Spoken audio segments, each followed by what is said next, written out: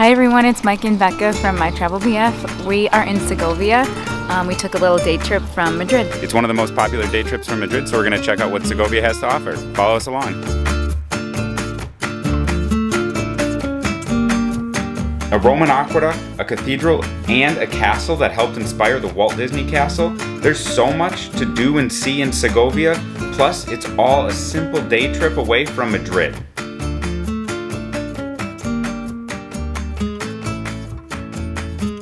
Make sure to stay to the end of the video to see the top three sites you need to see in Segovia, as well as two foods Segovia is best known for, including a dessert.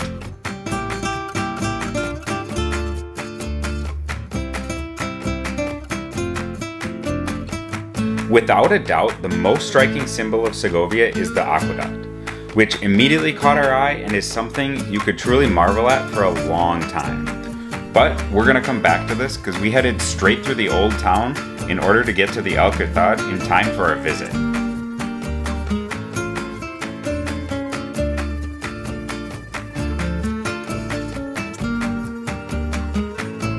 The Alcazar Segovia was first mentioned around 1152, but like all things in Spain, there is even more history behind it. It dates all the way back to the 7th century when the Romans first built there. Later on, the Moors built on top of that when they controlled much of the Iberian Peninsula. We truly love learning all these different layers of history, and it's something so common throughout Spain, and it's one of the things that makes this country so fascinating to live in. But while there's so much history here, the one thing the Alcazar is perhaps most famous for is serving as an inspiration for the Walt Disney Castle. The tour of the Alcazar de Segovia is relatively short and self-guided, but it only costs 6 euros. We recommend booking online ahead of time beforehand, especially if you're going during high tourist seasons. We put the link in the description below so you can book your tour of the Alcazar ahead of time.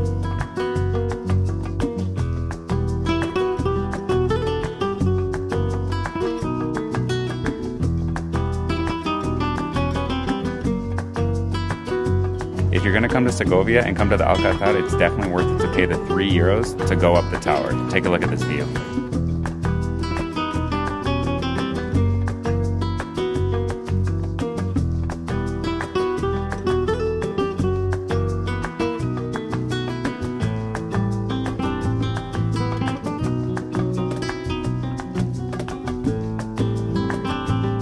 You honestly can't beat the view from the tower, with the old town of Segovia in the foreground, the giant cathedral rising up from the center of the city with its massive tower that overlooks Segovia, and the snow-capped Guadarrama Mountains in the background. It's an incredible view that you need to check out when you're in Segovia.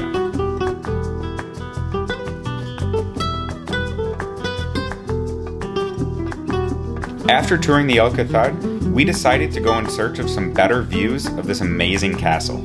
So we headed down some steep stairs that go along the edge of the cliff near the El Alcazar, down across the river to the Mirador de la Pradera de San Marcos.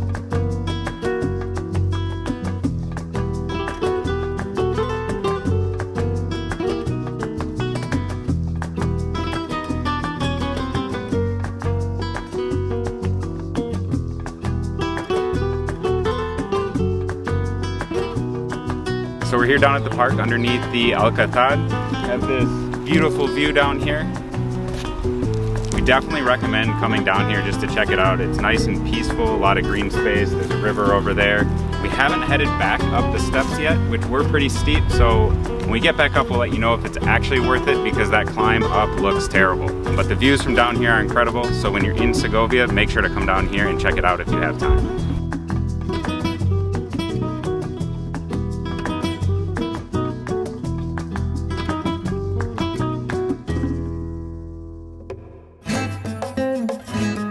Before continuing with our Segovia tour, if you like this video and others about what it's like living abroad in Spain as well as our travels, give this video a thumbs up and hit that subscribe button. It really helps us out and helps us grow the channel, and you'll get notified the second we release a new video.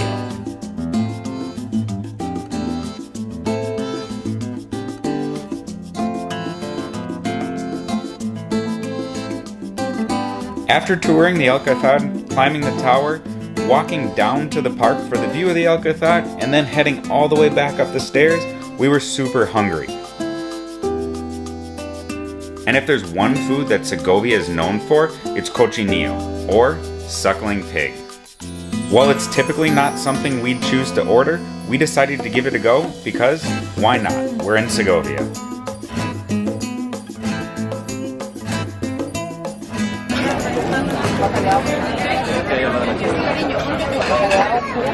Hola, buenas señores.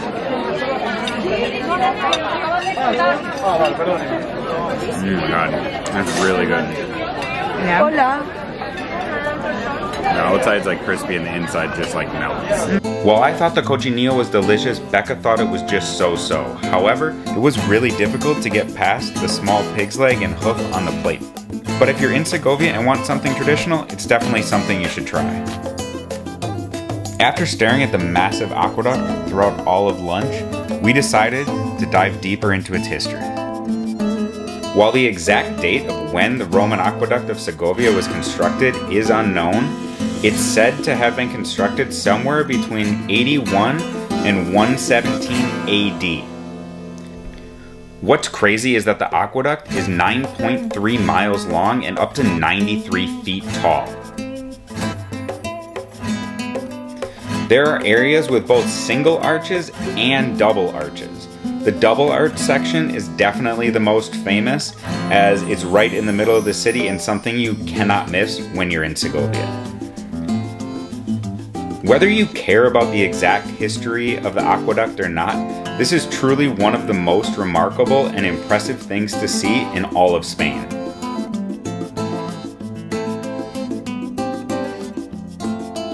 The last of the three big sights to see in Segovia is the cathedral, which sits right in the Plaza Mayor between the aqueduct and the Alcazar.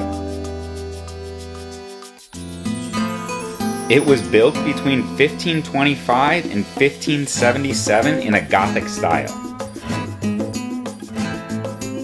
You can visit the Segovia Cathedral for only 3 euros, and if you have time, you can also do an hour long tour of the tower, which is the highest point in all of Segovia. Unfortunately, we just missed the last tour of the day, so it looks like we're gonna have to head back to Segovia. We should note the tour is all in Spanish, so even if your Spanish isn't up to par or you won't understand any of it, it might still be worth doing for the views alone.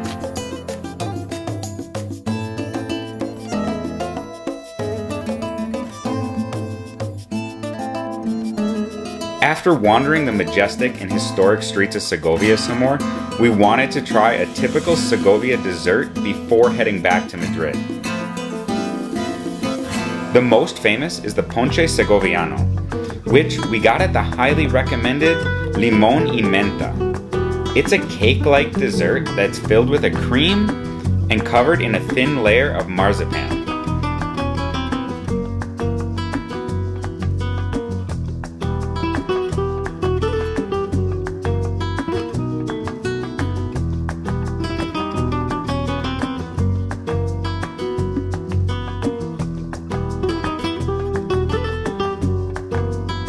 Really good. Really good. What does it taste like?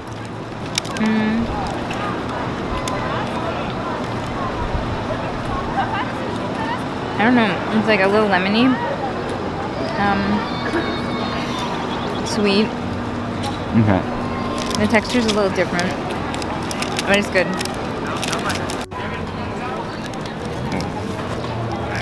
I see what you mean. It's like dough, very doughy. Um, what do you think? It's good. The powdered sugar got me in the back, in the throat. Like I inhaled it. It's really good though. It's like a mixture of lemon and dough and like cream. Mm-hmm. I don't know. It's super good. I like it a lot. It's definitely a must get in Segovia, especially if you have a sweet tooth. And it was perfect because Limon y Menta had individual sized ones for sale, so we didn't have to buy a complete one to eat ourselves.